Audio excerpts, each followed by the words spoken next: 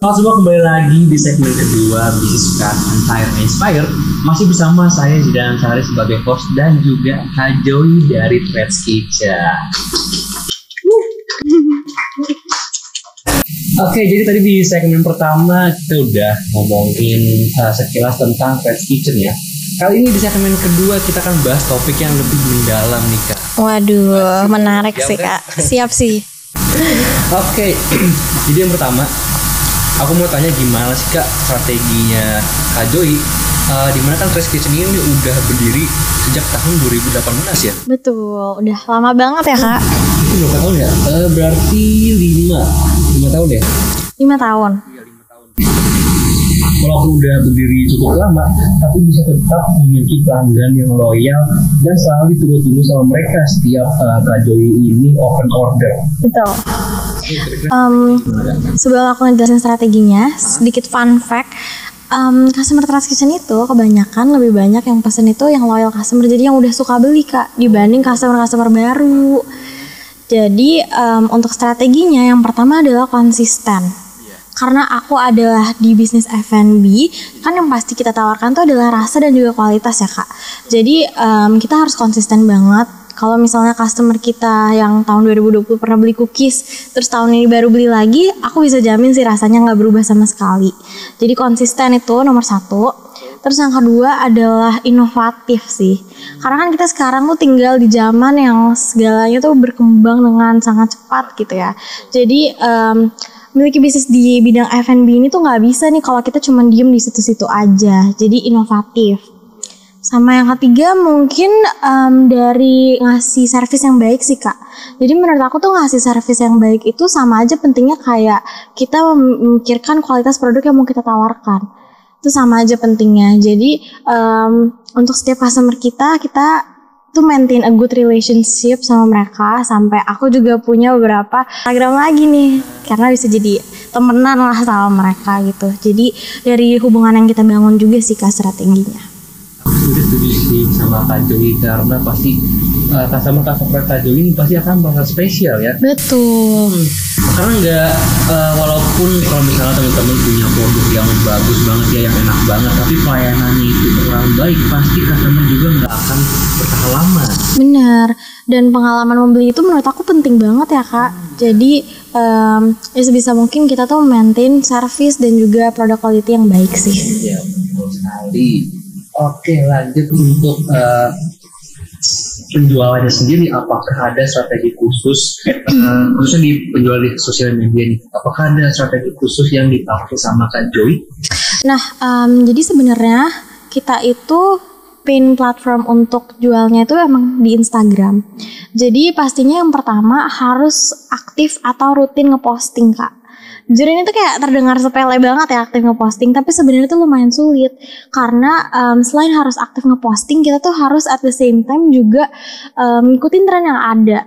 Jadi kayak kita harus aware nih apa aja sih sebenarnya konten yang lagi viral, sound yang lagi viral biar bisa kita aplikasikan ke bisnis kita. Sama yang terakhir mungkin em, aku tuh em, menerapkan interaktif marketing. Jadi tuh interaktif marketing aku tuh suka banget ini apa ya menciptakan interaksi dengan konsumen.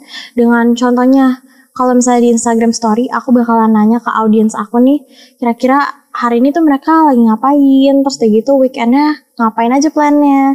Terus nanti diselingin sama soft selling produk kita juga. Jadi intinya aku pengennya bikin akun Instagram Trust Kitchen ini tuh menjadi akun yang fun jadi nggak cuman direct selling aja gitu. Sih Kak.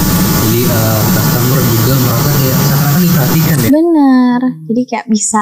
Nah dari situ juga sih eh berkesinambungan juga dengan gimana caranya kita membangun hubungan yang baik dengan customer sampai akhirnya nanti tercipta si customer loyalty ini ya. Oke ngomongin soal Threads Kitchen tadi kan udah berdiri sejak tahun 2018. Betul. Di mana udah cukup lama ya sekitar lima tahun. Eh, boleh dong Kak Joy ceritain ada apa namanya suka duka yang udah dilewati sama Kak Joy selama ini. Kalau sukanya em, yang pertama adalah bisa menghasilkan uang di usia yang masih sangat muda. Terus menjalankan sesuatu yang emang aku ngerasa aku passionate.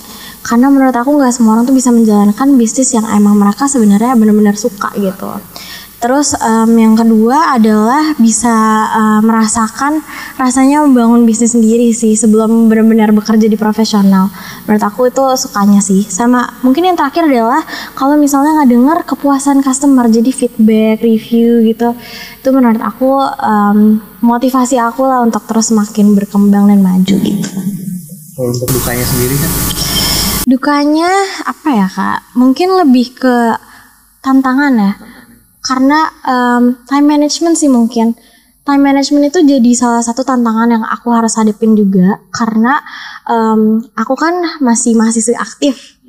Masih banyak tugas segala macam terus gitu aku ada same time jualan. Dan satu sisi lagi aku juga harus punya social life sama orang-orang kan.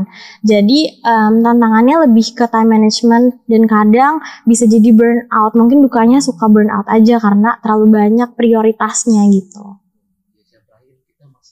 mahasiswa ya. Benar ada tugas ini tugas ini uas ini. Iya. Kadang kalau bagi waktu itu agak susah.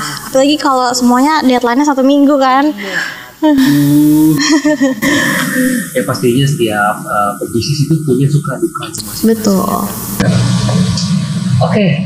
kalau yang dari tadi kita bahas itu kita udah bisa lihat ya kalau Kak Joy ini sangat baik dalam mengambil keputusan terutama untuk test kitchen sendiri di saat orang ini tuh mungkin kebanyakan gak banyak orang yang takut untuk memulai juga takut untuk uh, memilih suatu keputusan karena overthinking inilah atau itulah dan akhirnya dia nggak jadi ngambil keputusan.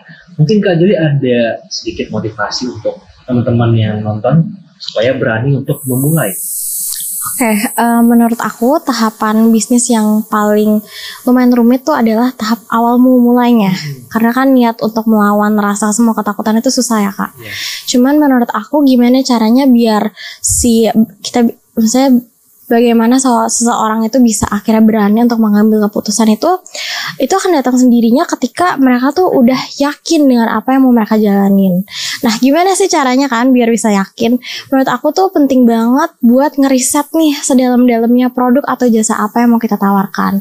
Nah, riset ini tuh bisa ngeriset uh, sekalian juga ke kompetitor kita yang mau jual, maksudnya emang udah ngejalanin dulu nih produk atau jasa yang mau kita tawarkan. Kita mungkin juga bisa menganalisa kira-kira kekurangannya tuh apa yang bisa kita jadiin strength di bisnis kita. Terus uh, sama mungkin selain riset itu um, jangan terlalu overthinking kali ya kak. Soalnya gini menurut aku orang-orang tuh suka punya mindset yang berbeda terhadap kegagalan orang-orang tuh suka ngomong kalau gagal tuh akhir dari segalanya yeah. tapi aku tuh punya mindset yang beda. Aku tuh ngerasa um, kegagalan itu sebenarnya tuh bisa juga jadi awal satu yang lebih baik. Hmm. jadi jangan takut gagal karena uh, ketakutan itulah yang sebenarnya tuh menghambat kalian kan untuk maju. Dan aku tuh adalah tipe orang yang mendingan aku nyemplung aku gagal aku tahu gagalnya di mana. Dibandingkan aku harus kayak selalu mikirin buang-buang waktu aja kira-kira apa sih yang bisa terjadi. Karena belum tentu terjadi juga kan skenario buruk itu. Jadi gitu sih guys jadi bisa dibilang kalau uh, kegagalan itu bukan sebuah akhir seperti yang kata nah. tadi. Bisa aja uh, hadirnya sebuah kegagalan itu bikin kita jadi lebih termotivasi atau bisa mendapatkan inovasi terbaru. Betul. Iya jadi jangan selalu lihat dari sisi negatifnya aja. Dan kegagalan sendiri aja tuh menurut aku pengalaman yang mahal juga. Oke kalau gitu teman-teman tadi uh, aku dan Kak Joy udah ngomong banyak sekali ya hmm. tentang Fresh Kitchen dari produk-produknya Fresh Kitchen dan salah satunya best sellernya itu coklat cookies yang aku sebut tuh emang enak wow terus juga tadi kita sempat main sempat main uh, game tebak influencer terus juga kita ngomongin tentang strategi yang Kak Joy pakai sorry, aduh sorry beribut ya. Yang Kak Joy pakai untuk uh, Fresh Kitchen. Betul. Sampai juga yang terakhir tadi Kak Joy kasih beberapa motivasi untuk teman-teman supaya bisa terdorong lagi untuk berani memulai dan mengambil keputusan. Oke okay, kalau begitu uh, sebelum apa namanya sebelum kita ke closing boleh dong kak dipromosikan uh, Kitchen itu bisa dibeli di mana? Oke, buat teman-teman semua yang mau nyobain produk dari Trans Kitchen, kalian bisa langsung cek Instagram trans.kitchen atau kalian juga bisa ke partnership store kita kak. Jadi kita punya partnership store nih. Um, namanya toko kue Ruby yang lokasinya ada di Sunter Jakarta Utara dan juga satu lagi di Kota Cirebon. Jadi kalian bisa nemuin produk kita di situ dan yang pastinya yang paling terbaru kita juga hadir di Aspire Plaza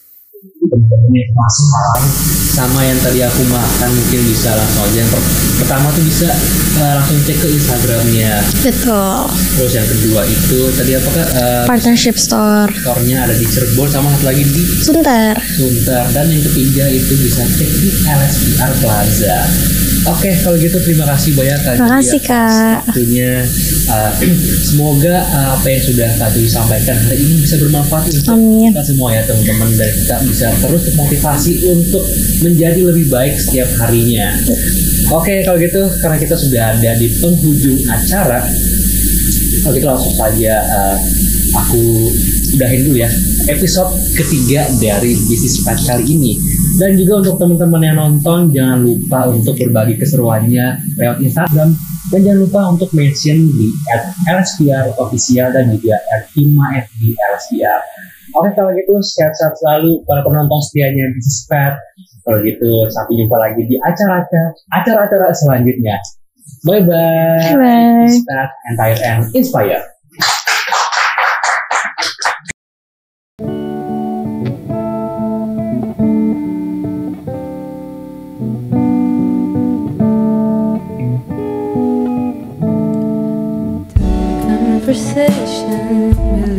Track of time. Have I told you lately I'm grateful you're mine? We'll watch the notebook for the seventeenth time. I'll say it's stupid, then you'll catch me crying. We're not making out on a boat in a rain or in a house I painted blue. But there's nothing